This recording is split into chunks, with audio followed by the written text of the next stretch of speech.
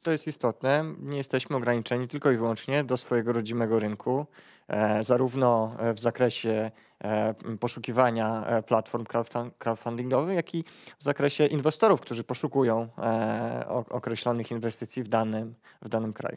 Tak, no każdy z nas ma możliwość tak naprawdę inwestowania swoich nadwyżek poprzez właśnie poprzez te platformy, które, które działają. To jest 50, 50 euro, a jest jedna z platform niemieckich, e, ClickOwn, e, o, ile mnie pamięć nie myli, która umożliwia już mm, bardzo silnie zdigitalizowana i, i oferująca nawet tokeny e, możliwość inwestowania już z 10, 10 euro. No dobrze, no dobrze, zastanówmy się chwilę nad przyczynami szybkiego rozwoju tego typu platform, skoro ich jest już ponad setka i, i, i jak udało nam się przeliczyć, to jest kilkaset e, tysięcy inwestorów, którzy już mm, inwestują w nieruchomości e, za pomocą pożyczek e, crowdlendingowych. Wydaje się, że, że głównym, główną przyczyną to jest, to jest otoczenie niskich stóp procentowych, tak? no bo jeżeli w euro, strefa euro oferuje zerowe stopy procentowe, w Polsce jest to, jest to na bardzo, bardzo niski, historycznie niskim poziomie i pewnie, i pewnie przez jakiś czas będzie się to utrzymywać. W związku z tym, jeżeli e, jest oferta pożyczkowa, pożyczek zabezpieczonych dość do, dobrym katalogiem instrumentów, która daje yield na poziomie, tak jak powiedziałem Państwu wcześniej, między 6 a, a 12 czy więcej punktów procentowych średniorocznie, no to, to, to jest to na pewno oferta atrakcyjna, a one dotyczą rynku nieruchomości, na którym zawsze można zarobić i bez względu na to, czy, czy jest hossa, czy jest bessa na rynku, na, na rynku nieruchomości zawsze można zarobić. W przypadku bessy wtedy można inwestować w jakieś ciekawe projekty, bo ktoś musi sprzedać nieruchomość, a w przypadku hossy wszyscy zyskują, bo, bo, bo, bo rynek rośnie, bo jest popyt na, na, na biura, popyt na powierzchnię komercyjną, popyt na mieszkania. W związku z tym bardziej, tym bardziej jest potrzebne finansowanie dodatkowe poza bankowymi. Y, kolejnym takim ważnym punktem to, to, to, właśnie to jest potrzeba dywersyfikacji portfela inwestycyjnego, no bo ileż można inwestować w, mieszkania na wynajem. Sami Państwo wiecie, ci, którzy mają y, mieszkanie na wynajem, że to jest kłopot, że stopa zwrotu z wynajmu dramatycznie spadła i osiąga pewnie teraz realnie 3-4 punkty procentowe i jest kłopot duże koszty emocjonalne z tym związane, więc, e, więc wydaje dodatkowo się... Dodatkowo trzeba zainwestować duży kapitał na początek. I duży tak? kapitał, tak, no, bo to jest kilkaset tysięcy złotych, w związku z tym e, to nie jest oferta dla wszystkich. E, dobrze, Arku, mi podpowiedziałeś, bo, bo, bo, bo to jest, mamy możliwość zainwestowania w, już w rynek nieruchomości pośrednio, co prawda, już kilkadziesiąt, kilkaset złotych. Mm, co jeszcze? Wysokie stopy zwrotu. Bądźcie Państwo z nami, za chwilę opowiemy o tych stopach zwrotu. Niska bariera wejścia, to jest ten, punkt, o którym żeśmy mówili. No, faktem jest, że, że deweloperzy potrzebują pieniędzy, na polskim rynku także. Ich jest 1420 w sumie. Banki w tej chwili mm, niechętnie finansują projekty deweloperskie. Natomiast co rusz pojawiają się ciekawe inwestycje. Deweloperzy ambitni poszukują gruntów e, do swojego banku, e, trafiają się okazje inwestycyjne, więc ten, ten, ten, tych środków finansowych jest zawsze za mało, zawsze za mało. Czyli nie tylko inwestorzy szukają, e, szukają dywersyfikacji e, portfela inwestycyjnego, ale także e, ci, którzy realizują projekty inwestycyjne w obszarze nieruchomości, również szukają dywersyfikacji źródeł finansowania. Tak, tak. No to jest poza bankiem. Poza bankiem no stworzy się swoisty marketplace. No, rynek wymusza z jednej strony wymusza na tych wszystkich, którzy mają nadwyżki finansowe, do tego, żeby się zastanowili poważnie, tak, czy chcą trzymać te swoje oszczędności w bankach, czy, czy, czy, czy, czy są jakieś inne opcje inwestycyjne, a z drugiej strony jest popyt na, na, na, na pożyczki, no bo tak jak wspomniałem, inwestorzy yy, chłonni zawsze nowych zysków, nowych projektów, chcą być lepsi od, od, od kolegów e, z rynku lokalnego, zawsze potrzebują dodatkowych pieniędzy, więc platformy crowdlendingowe są takim marketplacem, tak, gdzie popyt łączy się z podażą i tak naprawdę sytuacja jest win-win, no bo z jednej strony e, pożyczkodawcy otrzymują relatywnie wysokie stopy zwrotu, nie relatywnie wysokie stopy zwrotu, natomiast deweloperzy kupują ten pieniądz, co prawda gorzej, płacąc więcej niż, niż w bankach, więcej niż w bankach, w bankach stopa to jest między 4 a 5%, ale jednocześnie do, dostają, tak? Dostają bardziej bezpośrednio. elastyczne, Dostają bezpośrednio. Dostają bardziej elastyczne, elastyczne zasady, tak. elastyczne zasady. No dobrze, ale z drugiej strony, znów adwokat diabła, e, czy to przypadkiem nie, nie, nie odbija się na defaultach, na, na, e, na tym, że te pożyczki nie są spłacane, tak? Czy co zrobić, żeby pożyczki, pożyczki były zabezpieczone, żeby, żeby wszyscy mm, co robią, co robią mm, organizatorzy takich platform, żeby zapewnić e, komfort pożyczkobiorcom. E, i- Pożyczkodawcą. Pożyczkodawcom, tak. To znaczy Pożyczkodawcą. Tu trzeba zaznaczyć, że nie ma inwestycji, która jest całkowicie bezpieczna. Mm, e, e, Ale tak jak w przypadku inwestycji w nieruchomości, na pewno tych możliwości zabezpieczeń jest bardzo wiele. I tutaj od platformy crowdfundingowej, jej specjalizacji, osób, z którymi ona współpracuje w tym obszarze, bardzo dużo będzie zależało od tym, czy te pożyczki, czy ten produkt, który, mm, który będzie ona oferować, będzie należycie zabezpieczony dla takiego inwestora, że on będzie mógł e, nawet w przypadku defaultu, bo nie, tego nie przesądzamy, nawet w przypadku defaultu e, z tych zabezpieczeń skorzystać, e, niejako e, być obsłużonym profesjonalnie e, przez podmiot, który mu zapewni e, realizację takiego zabezpieczenia, a przez to odzyskać swoje środki. Dobrze, Arku, pozwól, że za chwilę oddam Ci głos. Nie będę się wtrącał, bo, bo cały moduł przed nami dotyczący zabezpieczeń tych pożyczek, ale ja chciałem Państwa uwagę zwrócić e, na tabelę, mm, którą prezentujemy obok. Otóż jest to zestawienie 11 e, platform e, crowdlendingowych, które działają od kilku lat w, w, Europie i udało nam się zdobyć te informacje na temat no, kluczowy, na kluczowe tematy, które, kryteria, które charakteryzują poszczególne platformy. Proszę Państwa, proszę zobaczyć na oprocentowanie pożyczek, czyli stopę zwrotu oferowaną e, dla tych, któ- którzy inwestują w rynek nieruchomości poprzez te e, platformy. Estate, Estate Guru oferuje, e, znaczy to, to jest efekt, efekt już inwestycji, czyli dostarczona stopa zwrotu, to jest blisko 12%. Evo Estate e, 16,32%. Crowd Estate, platforma z Wielkiej Brytanii, nawet 17, Reinvest 14, Bulk Estate e, 14, to, jest, to są nasi koledzy z, z Estonii. E, Profitus 10, e, e, Rendity to jest e, austriacka platforma e, crowdlendingowa, mm, 7%, Brickstarter i Wielka Brytania 5,5%. I proszę zobaczyć, że głównym zabezpieczeniem tych pożyczek to jest hipoteka. O tym będziemy mówić. Będę, Czyli od będę tych się- zabezpieczeń nie uciekniemy. nie uciekniemy. Kluczowa wręcz, e, kluczowy element to są e, zabezpieczenia. E, Pragnę Państwu zwrócić uwagę na wskaźnik LTV, to czy ile te platformy pożyczają środków versus zabezpieczenia, czyli wartość nieruchomości, która ma być finansowana taką, takimi pożyczkami.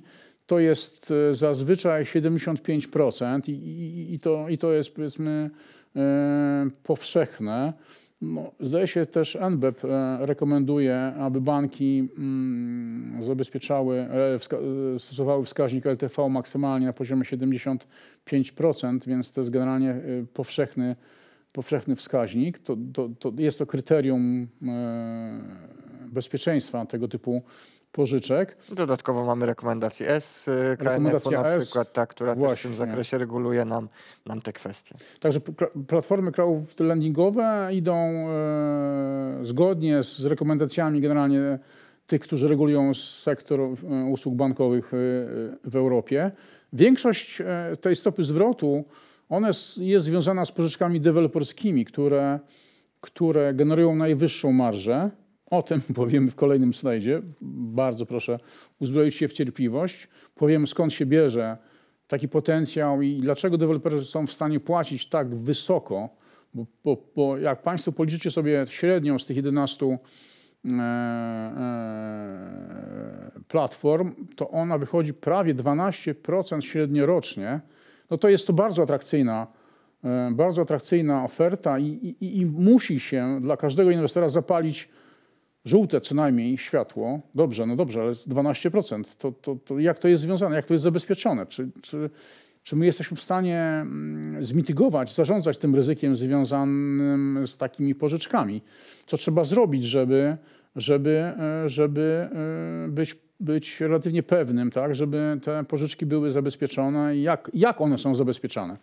O tym, o tym postaram się powiedzieć w kolejnym slajdzie. Natomiast jeszcze wcześniej chciałbym Państwa zainteresować tą częścią naszego webinara. Otóż hmm, chcieliśmy Państwu zaprezentować taki business case. Business case dewelopera z Warszawy, który realizował projekt budowy i sprzedaży willi, willi miejskiej, apartamentowca w Warszawie na Wilanowie. Projekt został zrealizowany w latach 2018-2020. I, i, I tak, e, kilka słów. 740 PUM powierzchni użytkowej mieszkaniowej, Cena sprzedaży zrealizowana to jest 15 tysięcy i sprzedaż razem e, e, tej willi to jest 11 milionów złotych. I deweloper zastosował tutaj no, rewelacyjną inżynierię finansową. Mianowicie włożył w ten projekt 400 tysięcy złotych, bo dał zaliczkę na zakup gruntu, widzicie Państwo 200 tysięcy złotych, zainwestował, opracował projekt który pozwoli mu uzyskać pozwolenie na budowę, kolejne 200 tysięcy złotych. Na e, resztę capex-u, resztę koszt, no, kosztów finansowych e, deweloper pożyczył pieniądze na rynku pozabankowym. W tym projekcie nie było kredytu bankowego. W związku z tym widzicie Państwo, że, że, że deweloper zdecydował się na tego typu e, drogie pieniądze, bo płacił za pożyczki zewnętrzne 12% e, rocznie. Były dwie tego typu pożyczki. Jedna na 24 miesiące, druga na 18. Ta na 24 miesiące na zakup gruntu, ona była uruchomiona wcześniej, na 12% per annum i, i na, budowę, na budowę i wykończenie apartamentu do stanu deweloperskiego. W międzyczasie deweloper znalazł jednego klienta, bo były to trzy apartamenty, około 200 metrów, 240 metrów każdy. W związku z tym e, klient e, mm, wpłacił część środków na podstawie umowy deweloperskiej i to były tak naprawdę trzy źródła finansowania, czyli kapitał własny dewelopera, to jest 400 tysięcy złotych, pożyczki zewnętrzne i część, część finansowania przez potencjalnego nabywcę. Koszty budowy 5 milionów 180, czyli total capex, wydatki całkowite to jest prawie 8 milionów. I proszę zobaczyć, jak, to się przełożyło na, na zysk. On sprzedał te apartamenty za 11, trochę więcej niż 11 milionów złotych. Zysk brutto to jest 3 miliony 300 łącznie, tak? 3 miliony 300 ze, ze sprzedaży tego projektu. I teraz przy 12% mm, oprocentowaniu pożyczki zewnętrznej, jego zysk z tego projektu brutto to jest 2 miliony 432 tysiące mniej więcej. E, I, I e, jak myśmy policzyli, to wskaźnik e, stop zwrotu z kapitału własnego zaangażowanego w ten projekt, return on equity, wyniósł 553%. I teraz obok Państwo macie mm, zestawienie efektów finansowych e, przy pożyczce, która jest droższa i wynosi 15% per annum. I widzicie Państwo, że deweloper zarobił zaledwie 200 tysięcy mniej, tak? E, uzyskał stop, stopę zwrotu ROE na poziomie 503% i wypłacił kupon pożyczkodawcom na poziomie 15% per annum. To jest właśnie E, to obrazuje, jaka jest siła w dobrze poukładanych projektach deweloperskich oraz e, przy odpowiednim know-how i doświadczonym deweloperze, który jest w stanie pożyczać pieniądze zewnętrzne na poziomie płacąc za nie 15% per annum. Stąd to jest wielka siła platform crowdlendingowych i generalnie produktu mm, crowdlendingowego. Pod warunkiem wszakże, że oczywiście projekt jest dobry, y, deweloper jest e, sprawdzony, lokalizacja jest fajna i są te Twoje ulubione zabezpieczenia. tak? Tak jest, dokładnie. Y, Oczywiście ten przykład i, i bardziej opisano jest w naszym e-booku. Zachęcam Państwa do tego, żeby, żeby ściągać ten e-book, zada, zadawać nam pytania, mm, no bo, no bo to jest w zasadzie klucz, tak? Czyli stąd, skąd się bierze wysoka stopa zwrotu pożyczek dwa, jak to jest możliwe, żeby przy takiej wysokiej stopie te pożyczki były jeszcze bezpieczne, bo one są zabezpieczone całym kat- katalogiem instrumentów. I, i, i teraz oddaję Twój głos, głos dla, dla Ciebie. Powiedz proszę, Arek, e, jakie mamy instrumenty w polskim prawie, tak? Jak zabezpieczać pożyczki, jak nie stracić e, tak, pożyczki, no bo ja chcę zarobić, tak? każdy z nas chce zarobić te 10%, 12% może, tak? ale czy my przypadkiem nie, nie, nie, nie idziemy w kierunku e, utraty tych, tych, tych, tych pieniędzy? Co ty jako znamity prawnik zarekomendowałbyś? Mm, Jakie instrumenty można było użyć? Ja może przede wszystkim, że już zanim powiem, w jaki sposób powinniśmy, czy, czy w jaki sposób ten katalog zabezpieczeń powinien być ukształtowany, to może powiem, że dosyć istotne jest na samym początku samo przeanalizowanie projektu, to znaczy e, z jakim projektem mamy do czynienia, jaka jest charakterystyka tego projektu e, nieruchomościowego. E, Zanim e, wydaje mi się platforma crowdfundingowa powinna się zdecydować na e, wspieranie czy skojarzenie mm, takiego, takiego inwestora, który zamierza realizować projekt mm, budowlany z dostarczycielami kapitału dla takiego inwestora, powinna dobrze przeanalizować sam projekt inwestycyjny. A tutaj projekt inwestycyjny opiera się o nieruchomość, więc szczególnie kluczowa jest, jest badanie czy audyt nieruchomości na tym początkowym etapie. Czy ten, e, czy ten projekt e, jest w jakichś szczególnych uwarunkowaniach? Wiemy bardzo dobrze, że na niektórych terenach mamy e, miejscowy plan zagospodarowania, na niektórych terenach nie mamy, w związku z czym mm, musimy też wiedzieć, jakie są uwarunkowania zmierzające do tego, żeby pozwolenie na budowę, czyli w efekcie ten, ten najważniejszy dokument, który pozwala nam zrealizować inwestycje, mm, mm, taki inwestor jest w stanie uzyskać. No dobrze, no ale każdy inwestor, deweloper, przepraszam, że wchodzę w słowo, każdy deweloper, no on, on to jest jego core business. On, on się zna na tym, tak? On wie, że czy może wybudować, jaki jest plan, jak, jak, jakie są warunki, tak? Po co ten audyt? Ten audyt jest niejako takim, takim badaniem na drugą rękę, tak żeby sobie zapewnić e, mimo wszystko pełen profesjonalizm i pełen, pełen spokój przy dobieraniu także zabezpieczeń. E, a przede wszystkim, żeby zidentyfikować, jakie jest potencjalne ryzyko związane z wykonaniem tego projektu. Przez to też e, to ma wpływ na, na, na, na w zasadzie na, na, na dalszym etapie na dobór ty, tego katalogu zabezpieczeń, bo nie wszystkie zabezpieczenia powiedzmy sobie możemy wykorzystać w danym momencie, może nie wszystkie zabezpieczenia będą No dobra, e, wymagane. okej, jest audyt. Audyt mówi, dobrze, inwestycja jest fajna, chociaż wszyscy w nieruchomościach, którzy pracują, mówią, że tak naprawdę kluczem do sukcesu e, w nieruchomościach są trzy rzeczy, tak? Lokalizacja, lokalizacja, lokalizacja. Wszystko inne już jest mniej ważne, ale jest audyt. Audyt powiedział, że jest OK. Due diligence wykazało, że inwestycja jest fajna. Dobra, co dalej? Jakie, jakie są instrumenty, które, które możecie mm, jako prawnicy tutaj za- zarekomendować? No, zdecydowanie, jeżeli chodzi o zabezpieczenia, to na pierwszy plan wysuwa nam się tutaj hipoteka i, i możliwość wpisania wpisu A właśnie co to jest? na, na hipotekę. Hipoteka. to jest e, zabezpieczenie, e, które jest w zasadzie, w mojej ocenie, jednym z najlepszych sposobów zabezpieczenia nieruchomości. Jest to zabezpieczenie rzeczowe, bezpośrednio na nieruchomości. Ono jest ustanawiane i wpisywane w księdze wieczystej nieruchomości. I niezależnie od tego, kto jest właścicielem nieruchomości, ta hipoteka przechodzi wraz z własnością. Czyli nawet w przypadku, w którym taki e, deweloper e, zdecyduje się sprzedać swoją nieruchomość, to wówczas, y, niezależnie od tego, komu to sprzeda, to, to ta hipoteka przechodzi na nabywcę, przez co e, pożyczkodawcy e, mają taką, taki, tako, takie bezpieczeństwo związane z tym, że to zabezpieczenie gdzieś po drodze przy zmianie własności im nie ucieknie.